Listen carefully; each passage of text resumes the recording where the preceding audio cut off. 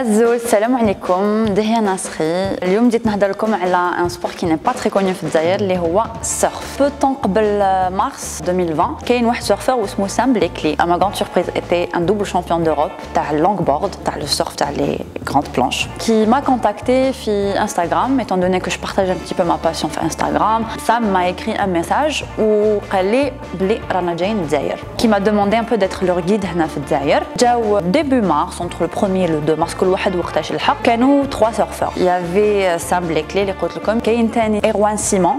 qui est breton ou en français. Il y a aussi Lucy Small qui est une euh, surfeuse kif kif langue qui est australienne. Qui Sami m'a contacté, m'a le message, euh, il m'a sur le fahmni chouïa, a une émission qui s'appelle Brilliant Corners. C'est pas le premier épisode l'idéro euh, en Afrique parce que il est parti au Sénégal, il a fait plusieurs pays. Rouma Diaw début mars et ils sont restés jusqu'au 15 mars. Donc c'est une expérience qui elle a duré 15 jours. انا فرحت كي جاو هما باسكو على بالي كي هما يديروا هاد الروبورتاج شغل لي جون فون بلوس اي كروار كو سي انايا نحط برك تصاور و, و دي فيديو في, في انستغرام ما عنديش لا ميم نوتوريتي كو جو مو سوفيان تري بيان واش قال لي سام قال لي انا على بالي بلي الجزائر تولي اون ديستيناسيون دو سيرف لا ميديتيراني Surfing Brilliant Corners, c'est une série présentée et, par Sam Blickley, qui est, un, qui est un ami. En fait, l'idée, c'est de faire des reportages sur des destinations qui ne sont pas forcément connues pour documenter les vagues, mais surtout aussi euh, les surfeurs locaux Qui vivent dans ces endroits, bah, notamment par exemple l'Algérie. We've had a real adventure and we started at Ain Taya, just east of Algiers. Conditions for surfing when we arrived were very good. We had bright sunshine and warm weather and good quality waves. So we travelled east to Bijaya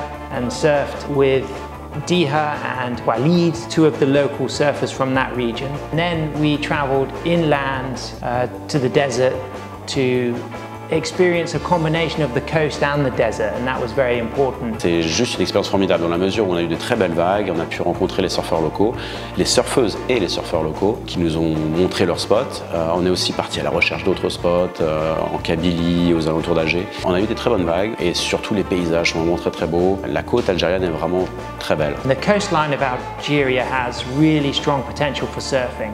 It will never be as big as you know, the, the big sports like football, of course, but it can play a good role in a new generation of Algerians. I think surfing can, can be small in Algeria but strong. When you meet Diha Nasri, her pride of her coastline is 10 out of 10. So I, I give the potential here full marks, 10 out of 10.